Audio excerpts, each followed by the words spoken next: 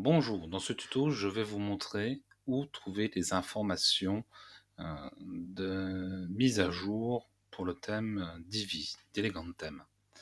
Euh, en fait, le but de, ce tutoriel, c'est de savoir, avant de faire une mise à jour Divi, de savoir quelles, ont, quelles sont les modifications qui ont été apportées au thème et qui peuvent notamment vous aiguiller sur les raisons de ces mises à jour. Donc en sachant que les mises à jour, ça peut être une mise à jour de sécurité, une mise à jour pour corriger des bugs, ou alors pour améliorer le produit. Donc soit en améliorant une fonctionnalité existante, en la rendant plus simple à utiliser, plus développée on va dire, ou en apportant de nouvelles fonctionnalités. Donc pour ce faire, vous vous connectez à votre compte euh, Elegant Theme, votre compte client, et euh, normalement quand vous vous connectez, vous arrivez directement sur cette page-là, où euh, vous avez la possibilité de télécharger Divi, Extra, ainsi que les principales extensions, donc Divi, Bloom et Monarch. Donc vous allez cliquer sur le bouton View All Downloads, comme ça vous avez la liste de tout les euh, téléchargements possibles, en fait tous les produits et les grands thèmes. Donc non seulement les cinq produits que je viens de citer, mais également tous les autres qui, euh, il est vrai, aujourd'hui euh, ne servent plus, plus à grand chose puisque ce sont des anciens produits qui sont pas, qui sont plus trop au goût du jour, on va dire. Et donc vous voyez que on retrouve la liste donc en premier des extensions, puis celle des thèmes. Donc avec Divi en premier, Extra en second, et ensuite les autres thèmes. Et là, vous voyez que euh, on a un peu plus d'options par rapport à, la présentation euh, de départ. Et euh, le journal de modification, en fait, c'est le changelog. Donc vous cliquez sur changelog et automatiquement vous avez donc la totalité du journal des modifications du thème, donc pour ici Divi. Et ça commence toujours par la dernière mise à jour. Donc là, vous voyez que la dernière mise à jour date du 2 euh, novembre 2018 euh, et c'est la version 3.17.6 de Divi.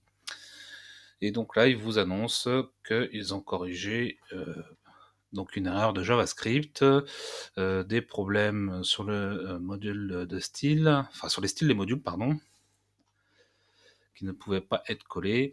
Ensuite, euh, on a la version 3.17.5 euh, qui, elle, était du même jour. Donc, vous voyez, il peut arriver qu'on ait plusieurs mises à jour euh, dans la même journée, et ainsi de suite. Donc voilà, vous avez l'ensemble des modifications qui sont répertoriées. Donc ça peut être, là vous voyez, c'est une mise à jour de sécurité importante. en même temps, ils ont ajouté donc des options qui étaient manquantes et ils ont corrigé des bugs.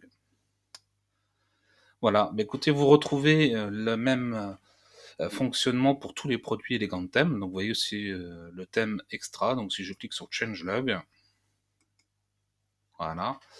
Donc vous aurez de la même façon toutes les versions citées avec leurs modifications, en commençant toujours par la dernière mise à jour en date. Eh bien écoutez, j'en ai maintenant terminé avec ce tutoriel vidéo que je vous invite à liker et à partager sur les réseaux sociaux. Et avant de vous quitter, je me permets de vous rappeler que euh, vous avez toujours la possibilité de bénéficier de 10% de remise sur votre première facture euh, d'hébergement chez Planet Hoster Planet Hoster, hébergeur euh, qui s'est euh, plus ou moins spécialisé WordPress. Je dis plus ou moins euh, parce que ça n'empêche pas que si vous avez d'autres sites que des WordPress, vous pouvez les héberger chez eux. Par contre, ils ont leur cœur de cible, c'est en effet WordPress. Ils ont tout fait pour offrir une offre d'hébergement à la fois performante, sécurisée et à prix raisonnable.